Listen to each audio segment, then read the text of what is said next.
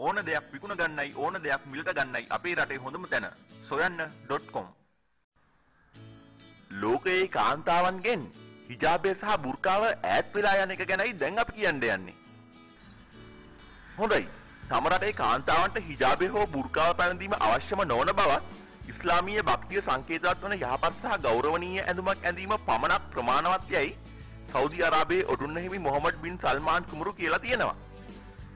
ඒ වගේම මොහොමඩ් බින් සල්මාන් කුමරු බලයට පැමිණීමත් සමගම සෞදියේ ස්ත්‍රී අයිතීන් පුළුල් වී තිබෙන අතරම කාන්තාවන්ට රියදුරු බලපත්‍ර ලබා දීම කාන්තාවන්ට මෝටර් රථ දාවන තරඟ සඳහා සහභාගී වීමට අවස්ථාවද මේ වන විට හිමි වෙලා තියෙනවා.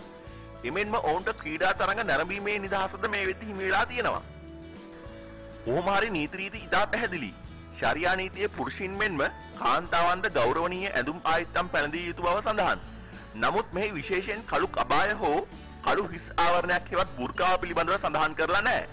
කාන්තාවන් Tamanට ගැළපෙන ඇඳුම කුමක්ද කියා සිතා ඒ ඇඳීමට සම්පූර්ණ අයිතියක් තිබෙනවා. මොහොමඩ් බින් සල්මාන් කුමරු ප්‍රකාශ කරලා තියෙන්නේ මෙන්න මෙහෙමයි. කොහොම හරි පසුගිය මාර්තු 8 වනදා ලෝක කාන්තා දිනය සමරමින් සෞදියේ ජේඩා නගරයේදී කාන්තාවන් පිරිසක් Tamanට අලුතින් ලැබුණු නිදහස සමරමින් ක්‍රීඩාවන් වල යෙදමින් එලිමහනේ ව්‍යායාම කරමින් සිටින අයුරු දැක ගන්න ලැබිලා තියෙනවා.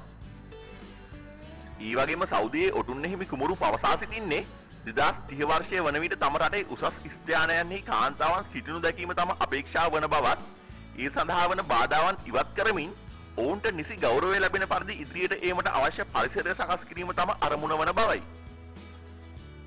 කොහොම හරි ඉතින් හිජාබය සහ බුර්කාව කියන්නේ ආරක්ෂක හේතුන් මතත් ගොඩක් තැන්වලදී ප්‍රශ්න ඇති කරන ඇඳුමක්. මේ ගැන ඕගොල්ලන්ගේ අදහසත් කමෙන්ට් එකක් දාගෙන යන්න. ඒ වගේම මේ වගේ දේවල් දැනගන්න අපේ channel එක subscribe කරන්න අමතක කරන්නත් එපා. ස්තුතියි.